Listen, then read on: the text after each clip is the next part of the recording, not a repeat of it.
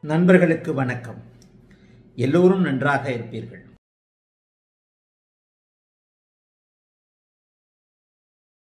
நான் தங்கள் கருத்துக்களை பின்பற்றுபவன். ஷட்பலத்தில் மூன்றாவதாக திருப்பலம் சொல்லப்படுகிறது. ஸ்தானபலம் திக்பலம் திருப்பலம் கால அயன சேஷ்ட பலங்கள். ஆறு விதமான பலன்களில் மூன்றாவது விதமான பலமாக சொல்லப்படுகிறது. பிரீமியம் வீடியோல திருப்பலத்தை பற்றி போட்டிருக்கிறேன். ஆனால் நீங்கள் என்ன கேட்டிருக்கிறீங்க? கடக உச்ச குருவால் நேரடி பார்வை பெற்ற மகர சனி. கடக உச்ச குருவால் நேரடி பார்வை பெற்ற மகர சனி இரண்டு டிகிரிக்குள் இருக்கும் பொழுது முழு சுபத்துவம் அடையும். ஆமாம் உண்மை. நேருக்கு நேராக பார்க்குறேன். நான் உங்களை நேருக்கு நேரம் பார்க்குறேன். என்னுடைய பார்வை முழுவதும் உங்களுக்கு விழுகிறது என்ப- என்கின்ற தன்மையில் ஒரு விதமான சுபத்துவ அமைப்புகள் கண்டிப்பாக இருக்கும். அதே நேரத்தில் பங்கப்பட்ட உச்சகுருவிற்கு பார்வை பலம் உண்டா?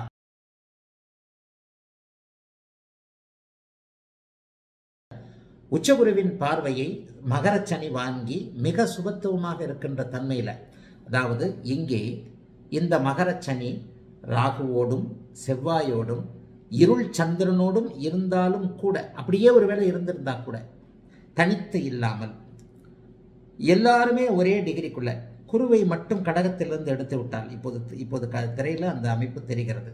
இந்த திரையில் தெரிகின்ற ஒரு அமைப்பில் இருள் சந்திரன்.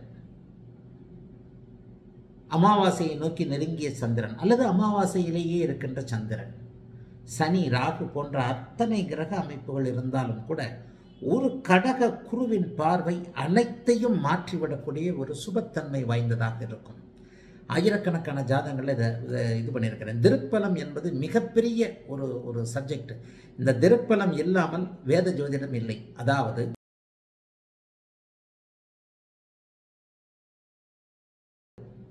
ஸ்பெஷல் பார்வைகள்னு சொல்லிடுறோம் இல்லையா? ஸ்பெஷல் பார்வைகள்னு சொல்லிடுறோம். என்ன ஸ்பெஷல் பார்வைகள்?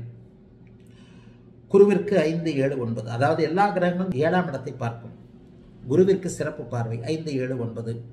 சனிக்கு சிறப்பு பார்வை மூன்று ஏழு பத்து. செவ்வாய்க்கு சிறப்பு பார்வை நான்கு ஏழு எட்டு.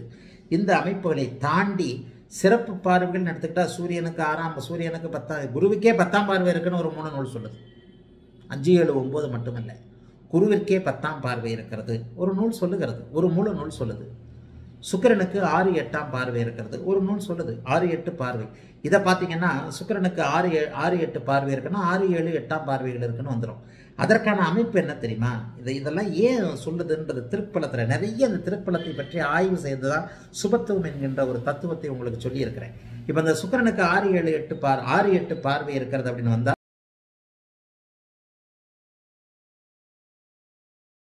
பார்வை என்பது பல அமைப்புகளாக பிரிக்கப்பட்டு மூலநூல்களில் சொல்லப்பட்டிருக்கிறது. உதாரணமாக நான் இப்போது சொன்ன சிறப்பு பார்வைகளின் அடிப்படையில் குருவிற்கே பத்தாம் பார்வை இருக்கிறது. சுக்கிரனுக்கு ஆறு எட்டாம் பார்வைகள் இருக்கிறது என்பது போன்ற நிறைய குப்பைகள் நம்மகிட்ட இருக்கின்றன.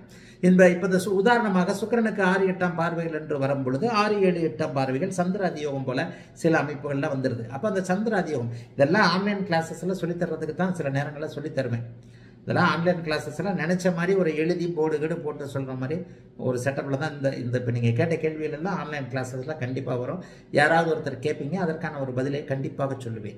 ஆக அந்த ஆறு ஏழு எட்டுன்றதை எப்படி வந்திருக்கும் அப்படின்னு பார்த்தா யாரும் இங்கே போய் ஸ்கேல் எடுத்துலாம் வச்சு அளந்துக்கிட்டு இருக்கல ஒவ்வொரு இதில். ஒவ்வொரு ஜோதிடரும் தன்னுடைய அடிப்படை அனுபவத்தின் அடிப்படையில் சுக்கிரன் வலுத்து இருக்கும் பொழுது உச்சமாக இருக்கலாம். மீனராசியில் சுக்கிரன் உச்சமாக இருக்கும் பொழுது எதிரே கன்னிராசியில் இருந்த ஒரு கிரகம் சிம்மத்தில் இருந்த ஒரு கிரகம் இதில் இருந்த ஒரு கிரகம் எதில்? துலாத்தில் இருந்த ஒரு கிரகம். நல்ல விதமான பலன்களை செய்வதை பார்த்து ஒருவர் யாரோ ஒருத்தர் டபால்னு அடிச்சிட்டார். சுக்கிரனுக்கு ஆறு ஏழு ஆறு எட்டாம் பார்வைகள் இருக்குது அப்படின்னு சொல்லிட்டு. இதில் இன்னும் ஒரு கான்ட்ரவர்சியான ஒரு அமைப்புகளையும் சொல்கிறேன்